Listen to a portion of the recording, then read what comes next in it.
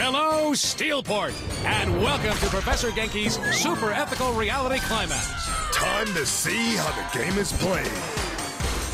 Fight your way through Professor Genki's Super Sparkle Lab for fun and profit. Now, with every man, woman, and tiger shot, your prize money goes up. But look out. No one likes it when you shoot a panda. Unethical.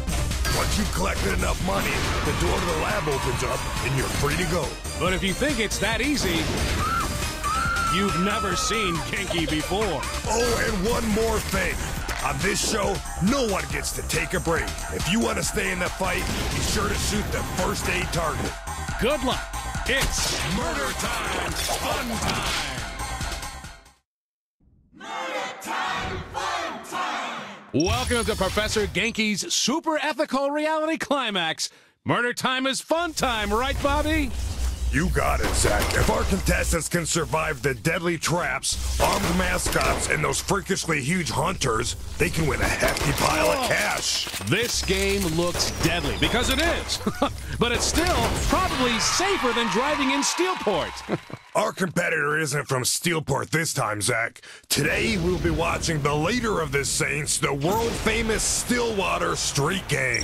as many times as this former gangbanger has been shot at, blown up, run over, and generally put through hell, this competition probably seems pretty routine. Uh, routine maybe, but lucrative. You are going to make Professor Genki-sized dollars driving hoes around, that's for sure. Cha-ching! we need more veteran gunslingers in this arena. Apparently, our contestant is quite the hero back in Stillwater. Have you ever been to Stillwater, Bobby? I did, and it wasn't a good trip. My car got covered in sewage by a passing septic truck. Really? What did you do to piss off the driver? I didn't do a damn thing. I just wish I hadn't rented a convertible. Wait, you were in the car when this happened? Back to the action. Our contestant is doing really well. Oh no! Oh, George! Very impressive. Reality! That's what the fans pay to see. Cash in pocket! Is that? It is. We have a present. A present is in the maze.